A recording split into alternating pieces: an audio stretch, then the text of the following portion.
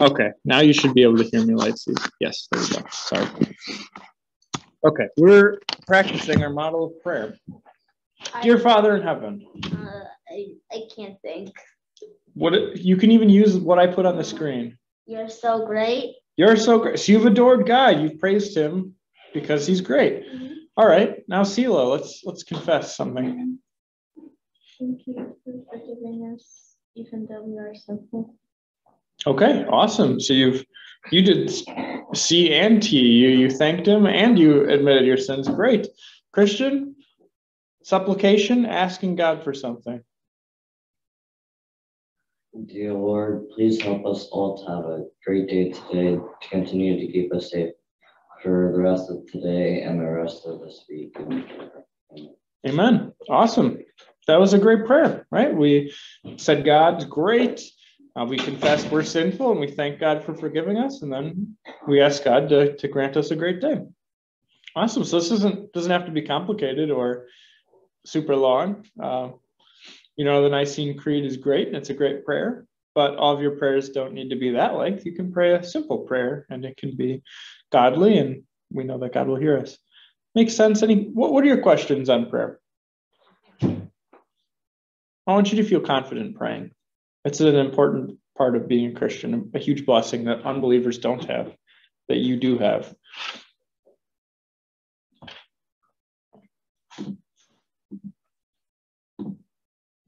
No questions? All right, let's do one more prayer then. Um, I'll start and we'll go this direction. Um, Dear Father in heaven, you are abounding in mercy and goodness. Did you do adoration? Mhm. So should I do confession? Sure. Um, I'm not perfect, and I'm still going to go to heaven. Um, Thank you for giving us this day to come together and worship. Please help us whenever we go home. We'll be happy for what we've all learned from more of your holy word. Amen. Wonderful. Getting the idea? It maybe it seems a little strange to go around the room and pray, but it's cool to to hear what's on your minds and to know that God's hearing what's on your minds. Uh, even though He already knows even before you ask it, He, he wants us to do this for for our benefit. Um, it, it helps us grow in our trust for Him. All right, let's keep going with some test review. So that's basically it was the first page um, was the ACT, ACTS and writing a prayer. We just practiced, great. Um, you can look at the charts on your own. Uh, many of the charts went unfilled out. Uh, that's simply a product of studying. Uh, if you filled out the chart, you probably studied that part of it. If you didn't fill out the chart, you probably didn't study that part. Um, so um, you can look at that on your own. And if you want, there are filled in charts right there if you want to help improve yourself. How about this question? Um, this is question number four. This is the most important question you will ever have to answer in your whole life. More important than what do you want to do when you're older? More important than who will you marry? Explain why you will go to heaven. Use at least one passage from scripture. Um, you notice that on the last three tests, you've had the same question. Yeah. Uh, this question, right? Why? It has been on like every single test we've had Yeah. Why do you think this? Te- why do you think this question has been on all the tests? because it's an important question. Exactly. It is an important question. And guess what? You know the answer to this one. Why are you going to heaven? Sila? Because we, I have faith in Jesus our Savior. And he says that we're going to heaven if we believe in him. Okay. What if I don't believe in him? I don't I think you're going. But what if I do a lot of good things? That doesn't matter. Okay. Good works. It's like good, but it doesn't matter in the long run. What about like children? Uh, they don't really do anything bad yet. You're born simple. Okay. Yeah. So uh, th- this is uh, this is how I'd answer the question. Why should you go to heaven? First of all, just just acknowledging your sins. All people are sinful at birth. I don't deserve to go to heaven. But why do I get to go to heaven? Because of Jesus. Three things that Jesus did He lived perfectly in our place, He died on the cross, and He rose. Jesus lived perfectly in our place, died on the cross, and rose. Um, whenever you're answering this question, uh, you can use this format um, because it, it, it's good to say, yeah, Jesus died on the cross. Um, but why did he die on the cross? Well, because I'm sinful. And why does his death matter? Well, it matters because He was, he was perfect sinful. first. He wasn't sinful. And well, is he still dead? No, he rose. Uh, so when you're answering this question, I want you to answer it like so. How about a Bible passage for this one? Gabe? John three sixteen, for God so loved the world that he gave to one and only son, that whoever believes in him will not perish but have eternal life. Excellent. I like it. Great. And there are so many passages that could work for this. Um, but this is the most important question. Go with something that you all know by heart, John 3.16. Um, all right, Max, why will you go to heaven? Um, because Jesus died for my sins, and I trust in Him. I Okay. believe in Him Why did Jesus die for your sins? because. Wait, Hold on. How about this? Why weren't you good enough on your own?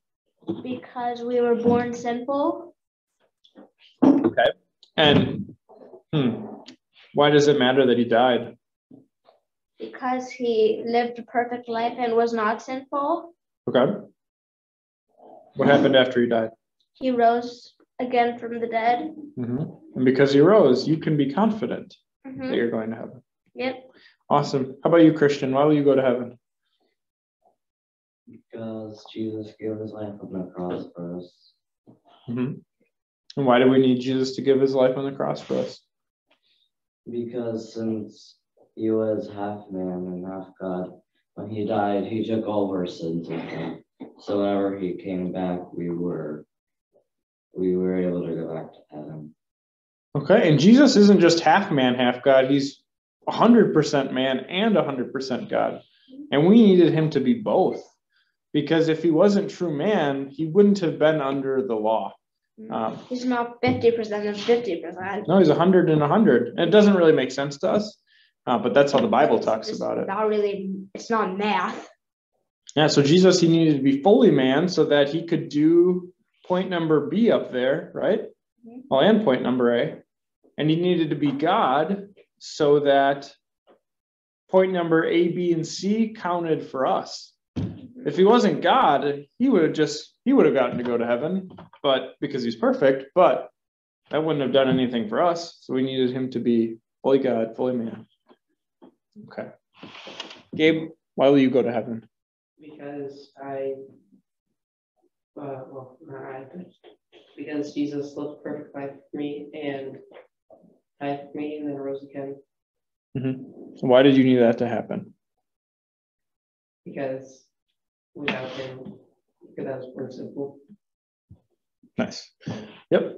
How about you, Emma? Why will you get to go to heaven? Because God, Jesus died on the cross for us. Okay. And why did that matter? Because he died for, because he died for our sins, because we were going to die like that. But Okay, so we're sinful. Yes. And why does it count that he died on the cross? What does that do anything for me? because he took away our sins and he, Did he just die for us? Is that all he did? oh, he rose from the dead. Hmm? What did he do before he died? He went, oh.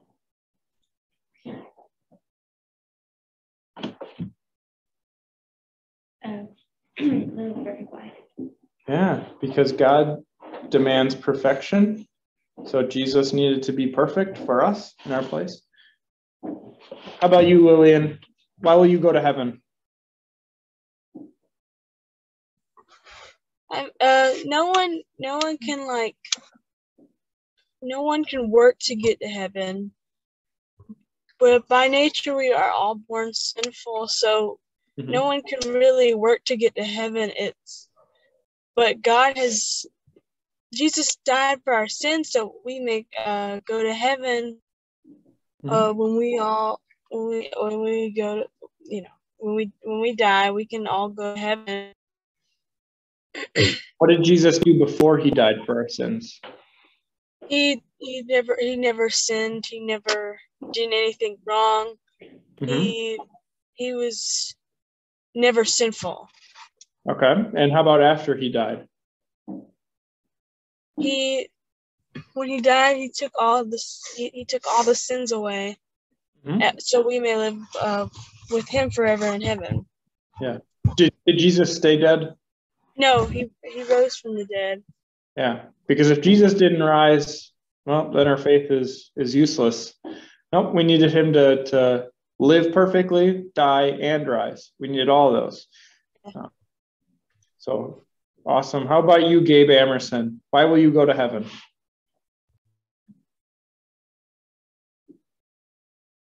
Okay, Gabe, how about this? Can you type out why you'll go to heaven? Type it out in the chat and I'll take a look at it. Uh, how about you, Ethan? Why will you go to heaven?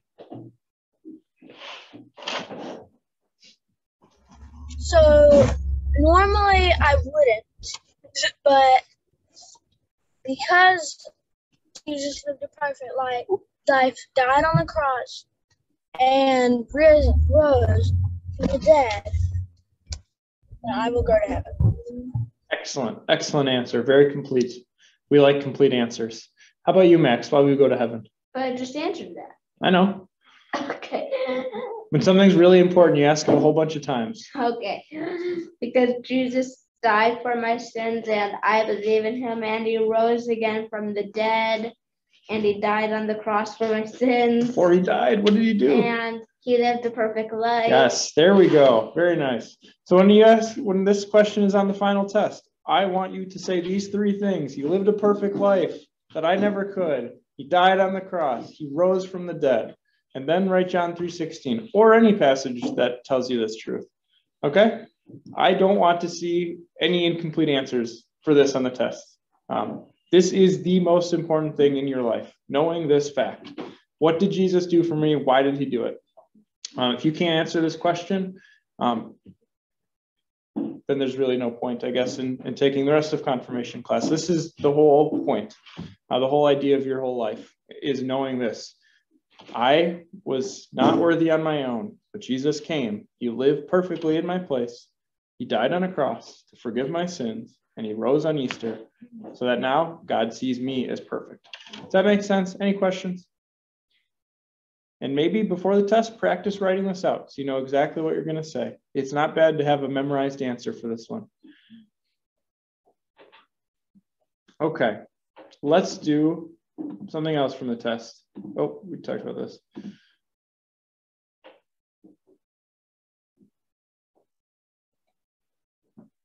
Yep, and Gabe, before he did that, he lived perfectly. And after he died, he rose. Don't forget those parts too. Okay, this was another question on the test. I don't think this was on the study guide, so this is one where I was, uh, we're kind of expecting you to piece some things together. Uh, it's not bad to have challenging questions that you don't expect. Living as a Christian can be difficult. Imagine that a friend told you, I'm really struggling right now. My faith feels weak and I don't know what to do. What would you say to your friend? What encouragement would you give them? Passage from scripture. Let's just talk about this. This is um, this is an interesting question, right? We we all come here to church together, and one of the cool things about going to church with other people is that when you're feeling down, they can pick you up and remind you about what God has told you. So how do you answer your friend? What are some things you'd say? Sela? Um, walk through uh, time and our faith may feel weak, but we also have to remember what Jesus did for us. And like I guess to help like strengthen your faith is to like read his word Mhm. and study him and everything and try to fill as much as like your mind with his word as possible and not let bad things in. And I choose the passage like Psalm 23. Why that passage? Um, because it's like really comforting. I say. What's that passage about? I don't know the full, but it's like the Lord maketh me lay down in green pastures. Mhm. Um. I always forget like the rest Oh. Like, no, yeah, yeah. passage, like Yeah, it's a very comforting passage. Though I walk through the valley of the shadow of death, I will fear no evil. For you are with me, your rod and your staff, they comfort me. Yeah. Okay. Other thoughts? What would you tell your friend?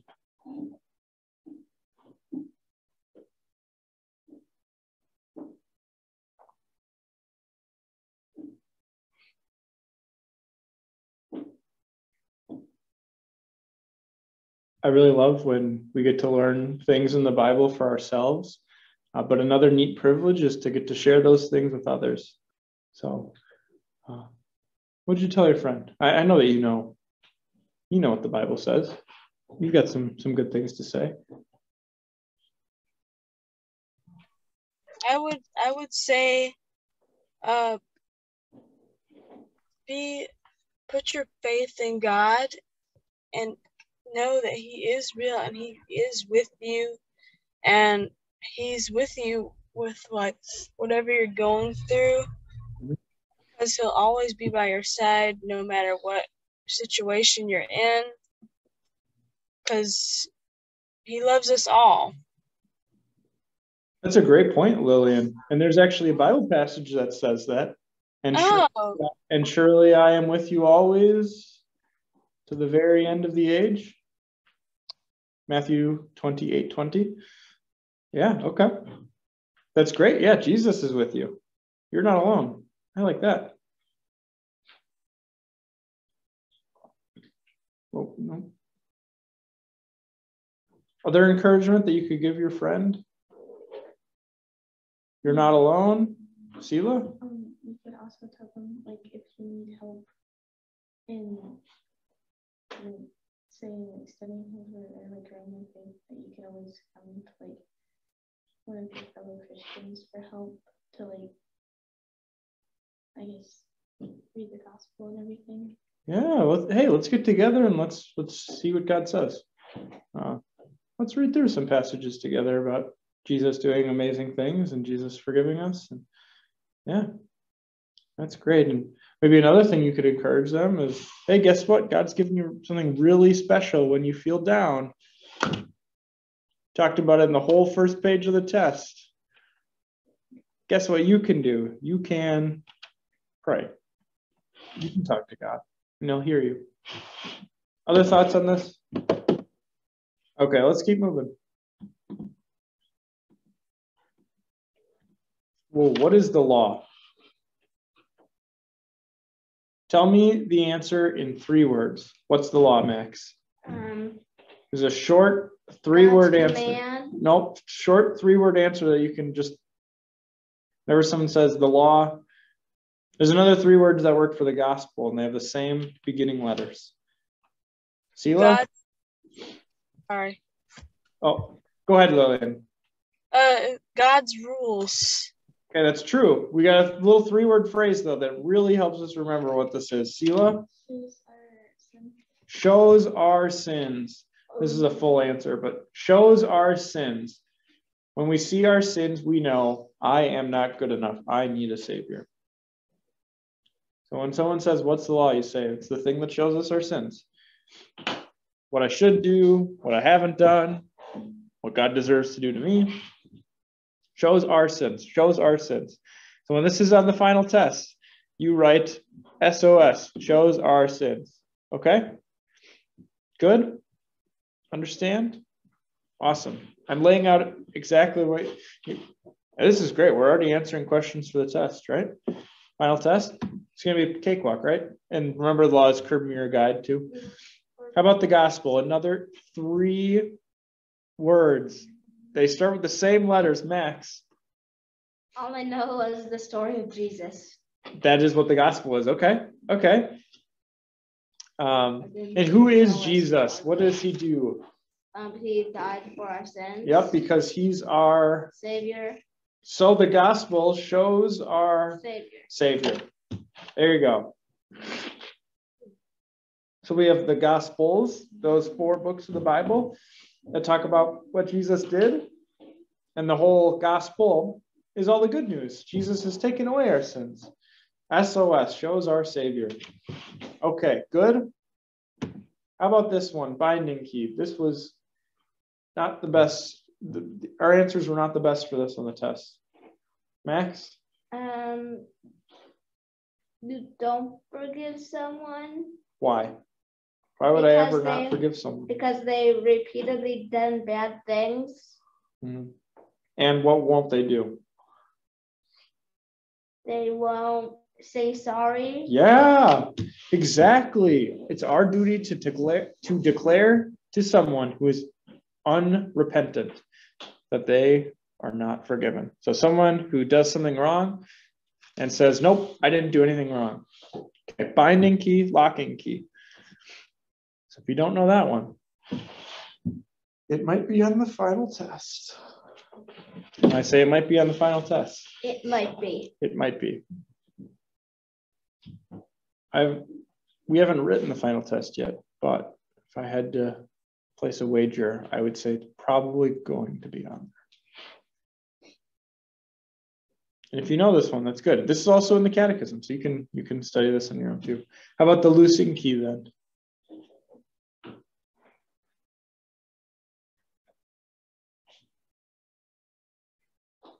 Gabe? To release someone from their sins because they're being repeated. Yeah, you're reminding someone of the forgiveness that they have in Jesus. Yep, awesome. That's the loosing, the unlocking key. Cool.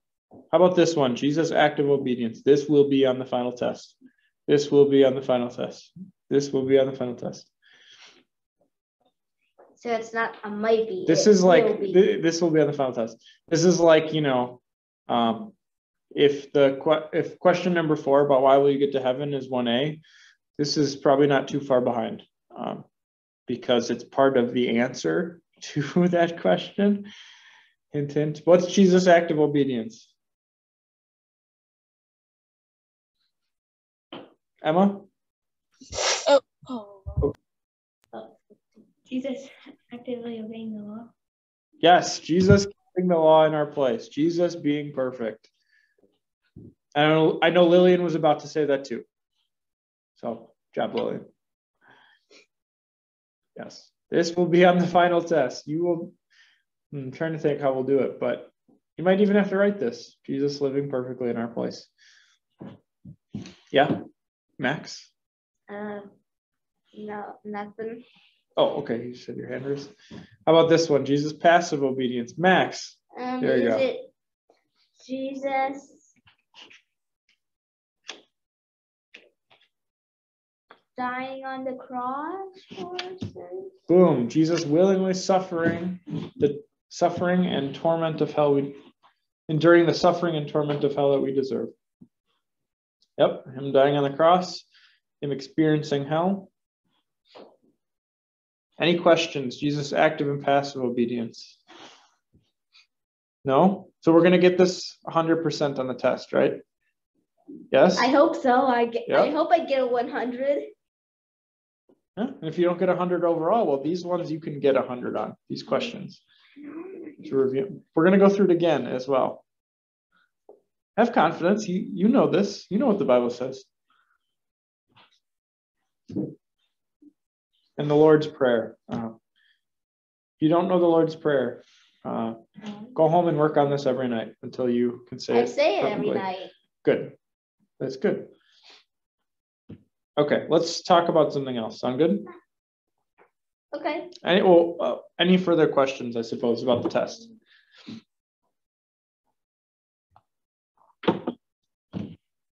It was not our best test overall so far. I guess I haven't looked at Seal and Emma's tests yet. Um, not our best test overall, though. Uh, so keep studying. Um, just asking for effort. Uh, you, you committed to, to confirmation. You committed to, to growing in your faith. So uh, hold firm to that commitment and keep keep doing our assignments faithfully and, and studying hard. Okay. All right. Today we are going to be talking about Lent. Flip over the sheet of paper that you received Lent. to the, the bright colored side. This is the church year. So remember, we kind of, just like how we've got spring and summer and fall and winter, Yeah. we have seasons of the church year, different time And periods. Christmas, So Epiphany. during December, we were in Advent, Uh-huh. which is getting ready for Christmas. Christmas. Then after Christmas, it's Epiphany, which is all about Jesus appearing. Then after Epiphany, we are in Lent, the purple color, that deep color. This is what Lent is. Uh, let's see. Who? Will, let's do some reading. Max, will you please read that first paragraph? Sela, second paragraph. Uh, okay. The season of Lent is a somber and meditative season during which we reflect on our sinful condition, what we deserve because of our sin, and all that Jesus sacrificed to rescue us to reflect to reflect a more muted tone during this season. Some of our mo- most joyous expressions of praise, such as Alleluia, are not used. The royal color purple is a color symbolizing penitence. It is used to remind us of King Jesus, who died to pay the punishment of our sins deserved, so that we would not have to suffer. That's what Lent is. Things look a little different in church during Lent. What are some things that you've noticed that are a little different, like the past month? Sela? You guys wear black Okay. instead of white. Yeah. On Sundays, we'll still wear white, but during the midweeks. Okay. Yeah, we wear black. Why do you think that is? to represent ash. That's part of it, maybe. Yeah. Um, it helps it it helps us stick out as we think about our repentance and the seriousness that our sins carry. Other things you've noticed, Max? You had your hand up. Uh, I don't know. Okay, don't know. Other things you've noticed that look different, sound different, feel different. What have we been doing Wednesday nights? No confirmation class Okay, why haven't we been having confirmation class? because of then. Okay, what are we doing instead, Gabe? Yeah, we're having some midweek meditations, a little extra time to think about what Jesus did for us. What are we doing at those midweek meditations? We're reading through something, taking a little chunk at a time. Yep, what part of the Bible?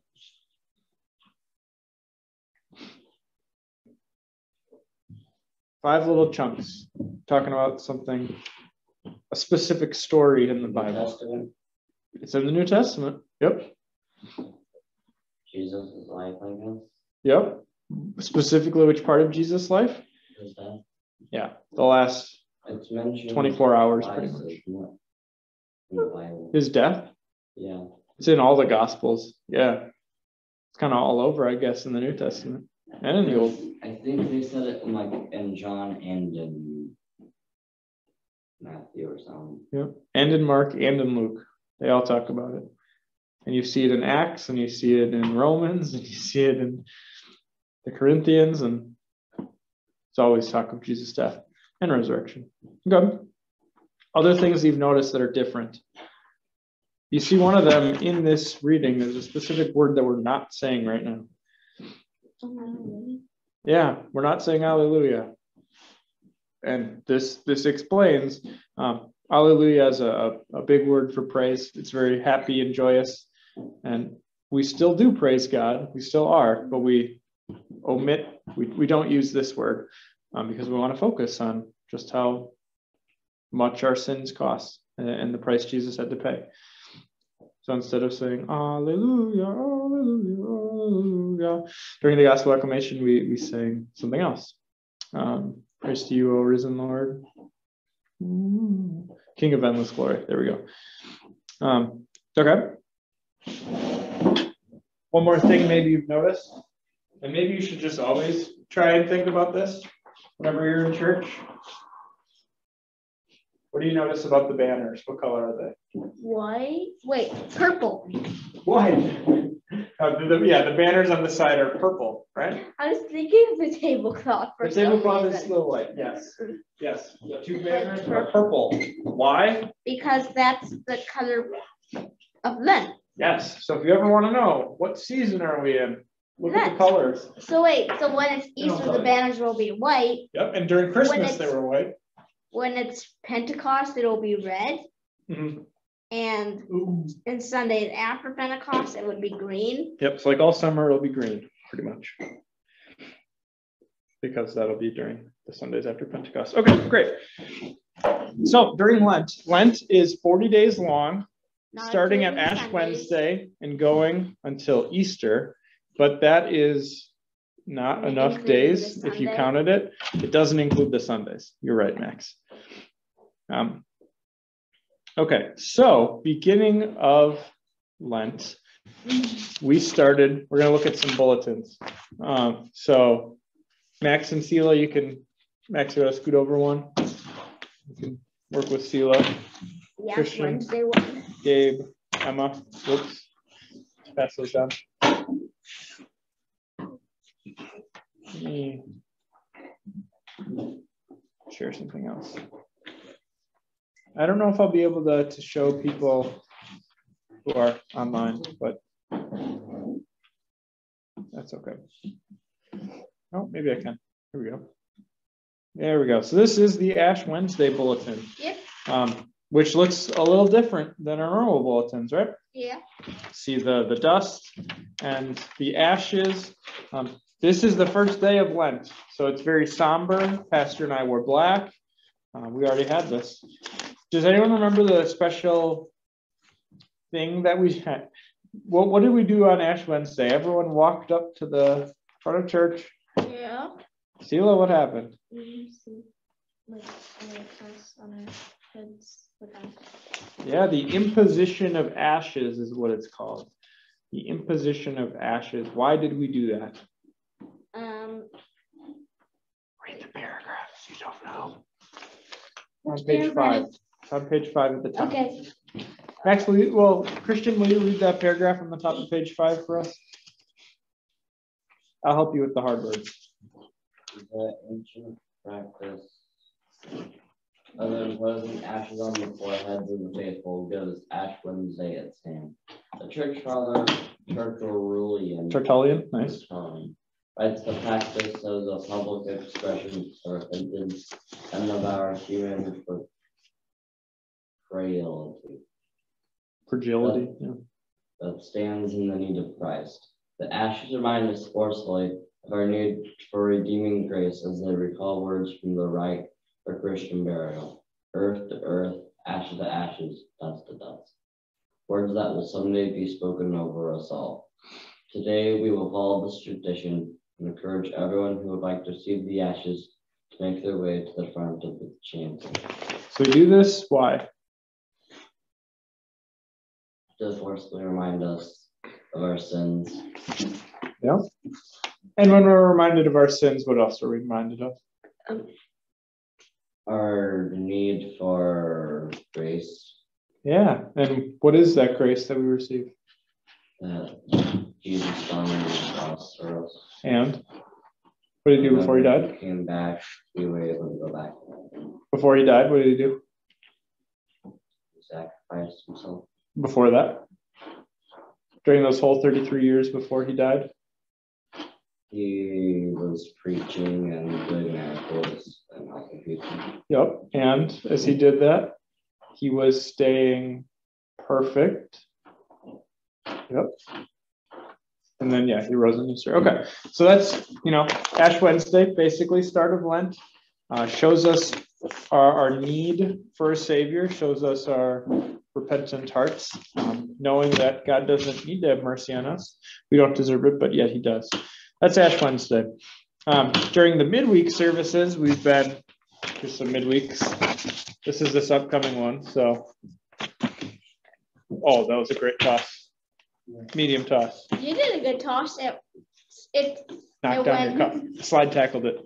Um, so during the midweeks, we've been doing this special order of service. It's called Compline. Um, you notice there's like music and songs and sounds a little different. Um, it's more just meditative. And then we've been doing this thing on page four at the bottom. has this happened yet? No, it's, it's this Wednesday night's bulletin. It's limited edition. It is limited edition. On page four at the bottom, what do we do during the midweek? Sela? Yeah, we read through the account of Jesus' final hours. Yep. And um, so we'll do that during the midweeks. Great. And then after the midweeks, we get to, well, I don't have a bulletin for this. So you're online. We get to this day in the church here. It's called Palm Sunday. Oh yeah, that's where we get that. That's where you get the ashes from, right? Yes, Max. Excellent. We get our ashes from this day and something that takes place on this day. This is, if you've never seen Palm Sunday before, I think you all have. But if you hadn't, you would say that was kind of a strange service. Um, Big bulletin. so, first of all, big bulletin because lots of hymns. Um, the reason there's a lot of hymns is because of what the service looks like. Basically, it starts off with a procession. People walk into the church, and what are they carrying when they walk into the church? Branches. Palm branches, yeah, because on Palm Sunday we celebrate Jesus entering Jerusalem uh, the the week before he died, basically. And people had palm branches, and they were singing, uh, "Hosanna to God in the highest." Um, so we start the service with that. We do a little devotion, and then after that, we go back through all of the Passion history again. We sing songs in between. So Palm Sunday, we do both uh, celebrating Jesus entering to Jerusalem, and we also just go back through the Passion history. And then Max was right. Those ashes from Ash Wednesday come from Palm Sunday palms. A year later, uh, we we turn them into ashes, and then we use that. Uh, so kind of cool. Questions on Ash Wednesday, or questions on oh anything so far? So now you, I don't know, you have a little bit better idea of uh, when this comes up, you'll you'll know what to expect. Okay. Then after Palm Sunday, we get to another day in the church year. It is called Thursday. either Maundy or Holy Thursday. And Holy Thursday is the start of basically it's like one big long worship service that goes Thursday, Friday, Sunday. Okay? It's basically like one service. We just do it on different days. And we're going to celebrate. Yeah, go ahead. And during these three services, we celebrate Jesus' time in the upper room with his disciples and, and instituting the Lord's Supper and uh, Garden of Gethsemane. That's like one part of it. And then his suffering and death and his resurrection. So it's like three services in one over the course of three days. We call it the Triduum. It's a big fancy Latin word that means three, basically, uh, because it takes place over three days. Um, but this is a, a practice that's been in the church for a long time, doing these three days. That's like the, the high point of the whole year, basically. Um, so you can see this, this big paragraph. Each different part is described. Uh, let me share the Holy Thursday Bulletin. There we go. Okay. Uh, let's see. Gabe, are you up to read? Yes. Let's just start reading down these paragraphs. We'll each take one. So you can start after six weeks of Lent. After six weeks of Lent, the church year has now reached its climax. We have come to the celebration of the suffering, death, and resurrection of our Lord and Savior Jesus Christ. This is the celebration for which we've been preparing throughout Lent. Now we focus on what makes Jesus the Christ. Somebody want to take the next paragraph for us? We see him suffer. We see him suffer and die for our sins and for the sins of the world. And we see him rise triumphantly on Easter morning to assure us that our salvation is complete, the victory is won. Prior to the fourth century, Easter Day itself included all three emphases Christ's suffering, death, and resurrection. But the early church fathers decided that it might be wise to spread those three days emphasis, but out over three days. Max, next paragraph. Right. Um, where were they again? Here, right here. Um, and resurrection of our Lord. Nope, and- right here, right here. Oh, I was looking at the, oh. Why are there two mouses?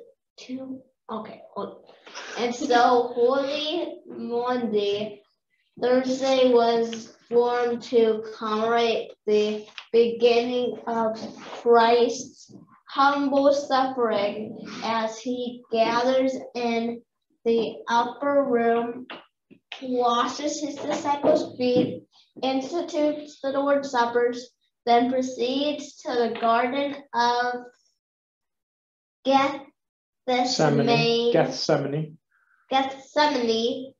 For prayer, betrayal, and rest. See, Good Friday. see, oh, see, look. Good Friday was set aside to ponder the anticipated Christ's passion as he is put on trial before Pontius Pilate. You say that one? Scourged and crucified on the cross. He speaks only seven times before he dies. Christian. Then Easter Sunday celebrates his victory over death and our guarantee of eternal life. These days have long been understood as the climax of the church of the year. Together they form a unit. Therefore, as we celebrate these three holy days, our worship will form a unit. What follows is a single service celebrated over three days, which will take us through our Savior's sufferings to his glorious triumph at Easter. Okay, last paragraph. Because the,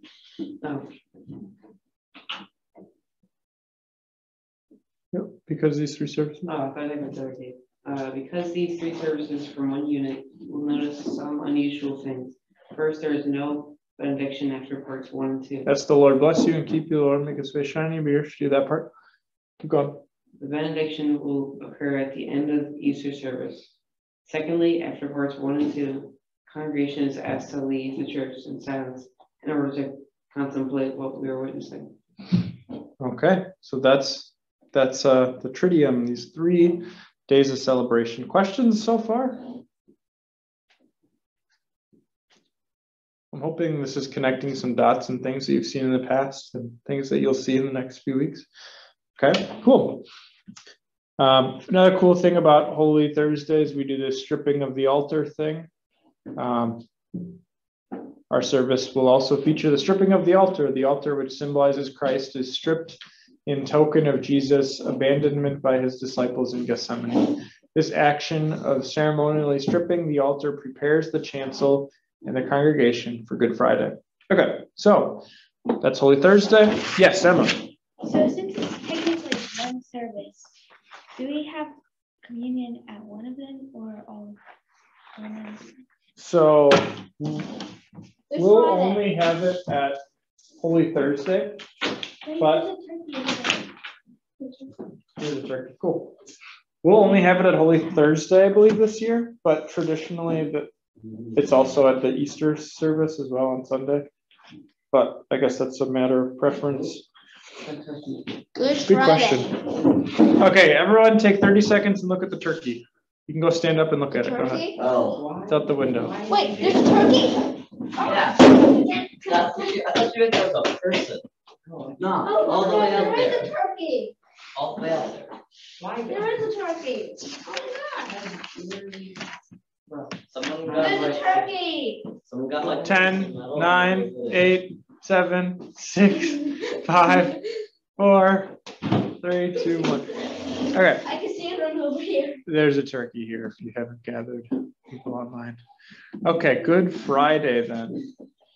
So this is part two of the, what is that big fancy word for these three celebrations? Starts with a T, it's at the top of the page. Um, Triridium. Triduum. Yep. Awesome. Uh, Good Friday is uh, special. We use the seven words that Jesus spoke from the cross. And there's like some readings and hymns that go with that too. Um, very somber service. We toll a bell. At the very end of the service on page um, 15, go to page 15. Very unique thing that you'll hear, see on Good Friday. There we go. Something called the Strepitus. Who's a Latin scholar in here? Gabe, Latin man. Okay, what does Strepitus mean? Um, If you just read that first par first the paragraph under the word Strepitus, it'll tell you on page 15. You can be really smart and sound very intelligent. I'm not. So Gabe, what does Strepitus mean? What? You got like one more page to go. Page 15? You're on the wrong bulletin. Oh, that was- Good Friday, I bulletin. tell you what it means. Then he just- Loud. Christian, our, our, our uh, substitute Latin scholar, loud noise. Okay. Basically, what happens is you drop a book and it's really loud in the back of the church, Oh, that's what. Loud, kind of like that. Yep. like that. Yep. Wait, no, it's gotta be a Um, higher. Like that? Yep. Okay. Yeah, So, well, there's better books. I understand. uh, Emma, will you read that paragraph? Strepitus. The strepitus is a Latin word meaning loud noise. It is meant to symbolize the earth shaking and rock splitting, as Jesus' said, and foreshadows the ringing of the tomb. As the sun was rolled away and the earth shook as Jesus rose. Awesome. And then we depart in silence. Okay. One cool service that not every church does, but that we do is Easter Vigil, which is Saturday night. I got shocked. Saturday nights. It's not part of the Triduum, but it's a very ancient service. Um, it's kind of weird. There's basically four parts to it. And you basically just read through the story of God being awesome. So it's like creation and the flood and the Exodus and I'm trying to what else. Um, the Red Sea. Okay. Um, Ezekiel. So so it's just a bunch of other cool readings and showing that God's awesome, basically.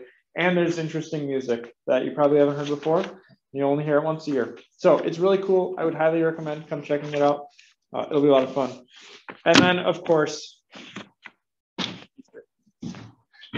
the Festival of the Resurrection of our Lord. very nice, Max. The full name for Easter, the festival of the resurrection of our Lord. Very nice. Um, on this day, we celebrate Jesus returning to life. Very cool. Wait, So wonderful hymns. That's last year's bulletin. We're not done with this year's yet. Because, well, we're not to that point yet. I was wondering. how- how Okay, you And you know what Easter now? is. Um, thoughts, questions, comments about Holy Week, about Lent, about life, about the law, about the gospel? Feeling good? Feeling like you have a better grasp on what Lent is and what it looks like? Yep. Thirty-seven bulletins. And you have a bunch of bulletins. So many bulletins, uh, including the big one. You can make stacks of the bulletins, No, So many like buy, buy the, buy the bulletin. The I can bulletins. sell the Snack, bulletins not the big one. haven't cut out yet. Yeah, you can. Emma's going to be a black market big- bulletin dealer for big thick. Wednesday night's bulletin. Oh, hey, I started a black market once. For applesauce. Applesauce. I actually Camp kind of South, believe everyone. it. Camp Golden applesauce. Nah, Camp South. If you were there, you were there. You know what I mean. All right. Applesauce. Cheers. Um, so you can make a stack of each kind of Applesauce. one. Actually, Bulletin. honestly, um, Emma and this pile can stay. You can get the other one. Uh, you can throw the rest of the bulletins away. Just take two piles. So much paper wasted. So much bulletins. But you did some good learning, all right? So much big Okay. bulletins and Let's, um, so any other questions? Are we feeling good about Lent? All right, why will you go to heaven? Three things, because, well, first thing, why will I go to heaven? Jesus died for sins. First thing, Jesus, We are all, we all are all sinful. We're okay, terrible. we're sinful. Three things, why will I go to heaven? Jesus God died loved on the No, cross what for did he do sins. before he died? What did he do before he He lived died? lived a perfect He life. lived a perfect life. He died on the cross for our sins. Died on the cross. And then he, he rose again from the Yes. dead. Yes, and a passage for that. John three sixteen. For God so loved the world that he gave his one and only son, that whoever believes in him shall not perish. Shall not perish, but have have eternal eternal life. Awesome. Let's pray. Dear Lord, thanks for letting us study your word today as we think about uh, the ending of your life and uh, the new beginning of our life in heaven. Uh, you're such a great and merciful God that you forgive our sins even though we don't deserve it. Uh, thank you for sending Jesus to live perfectly in our place, to die and to rise. Uh, we need that, Lord. Uh, be with us this week. Help us to continue to live lives that show our love for you. All this we ask in Jesus' name. Amen. Okay, wonderful. I hope you all learned something. I know I learned in preparation for this. So, good time. People online, peace out. See you later. Goodbye, Gabe. Bye, everybody.